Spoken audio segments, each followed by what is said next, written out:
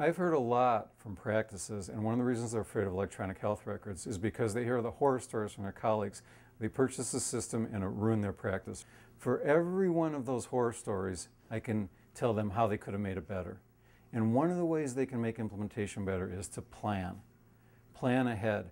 What a lot of practices do is they just let the vendor control the whole process. They assume the vendor is going to come riding in like a knight in shining armor and just take care of them. I paid so much money and you're going to take care of me. Well, it's a two way street.